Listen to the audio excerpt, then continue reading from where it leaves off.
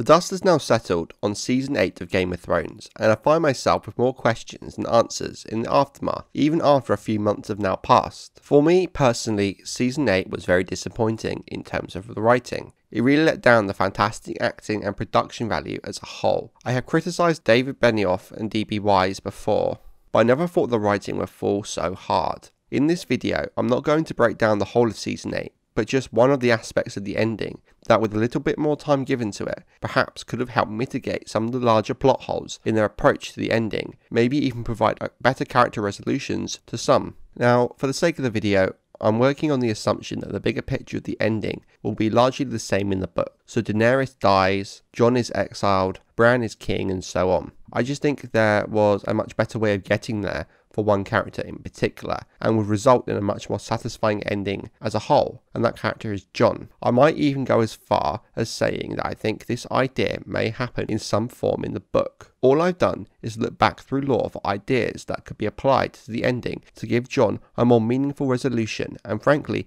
help it make more sense. So let's paint the scene. Daenerys has just burnt King's Landing to ashes to a horrified Jon Snow. After talking to a captive Tyrion, Jon is convinced to assassinate his lover for the greater good. All this plays out as it does in the show, but here is where I would change things. After Jon has assassinated Daenerys, he is then discovered by Grey Worm, sat on the Iron Throne cradling Daenerys' body. This leads to confrontation between the two, with Jon killing Grey Worm in a one-on-one duel. Drogon then arrives burning the throne and taking Daenerys' body away, much like in the actual ending. Now, the problem here is what do you do with Daenerys' magic respawning unsullied? Would they still not just arrest Jon? For me, the only solution I see with this is perhaps while Jon is fighting Grey Worm, it could be intercut with scenes of Jon's remaining Northmen fighting the Unsullied, with the Unsullied having the upper hand. However, there is a turning of the tide when the last remnants of the Lannister troops held captive rise up and join the Northmen in fighting the Unsullied, symbolically bringing together the fractured realm.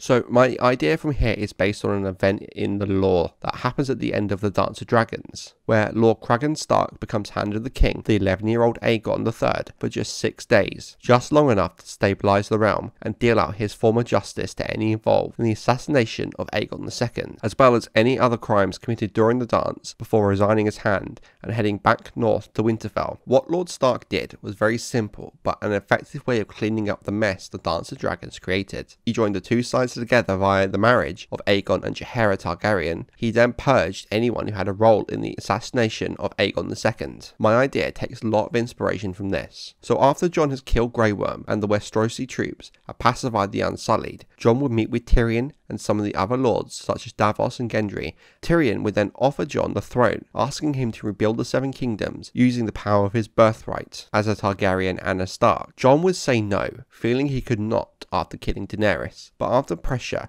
and convincing, he would accept. I'm sort of thinking maybe Jon could hear Maester Aemon's voice talking about the idea of love being the death of duty to help push him. The now King Jon would then call all the major lords to the King's Landing to swear fealty to him, including the likes of Sansa, Yara, and the Dornish, and all the other notable lords of the realm. After all the lords have sworn fealty to Jon, Jon makes a speech addressing the lords. He talks about Daenerys with a hint of sadness and regret. He would obviously condemn her actions and the pain it's caused many and the devastation, but defend her ideas, her dream of breaking the will, as so long as the wheel kept turning, there would always be another Daenerys or Cersei. There would always be another war of five kings to make the realm bleed. He would also talk about and draw from his time with the Free Folk, where the wheel really had no power, where everyone choosing their own king brought the clans together. Jon would then announce he would be calling a great council to find not only a new king, but a new way of choosing who would be king. Someone who in turn could be held accountable for their actions if their duty was not fulfilled. Jon would then abdicate the throne by announcing his intention to take the Black at the conclusion of this great council. Things would then play out as it does in the show,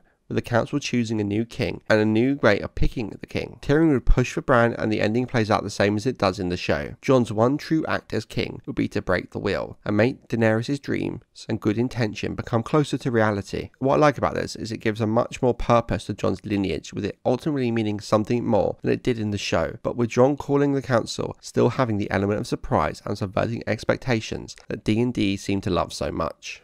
It would also stay true to Jon's character of not wanting power, but it finds him, and him then doing his duty. But this also allows him to maintain his own personal honour by achieving what Daenerys wanted, and him taking the black and going beyond the wall with Tormund as a form of penitence in his own mind. Functionally, the ending is the same, with much more depth and purpose to it, with a minor change in how it gets triggered. It's largely different than the Hour of the Wolf from the Dance of Dragons, but takes the idea of a Stark coming to power for a short time, doing his duty before heading back north. The Hour of the Wolf would not fix Season 8 by far, it only puts a plaster on the holes in the ending, but it would maybe prove a little more satisfying. So what do you all think of my idea? I'd love to talk about it in the comments and maybe see your ideas you would have done to fix the ending of the show and season 8 in general.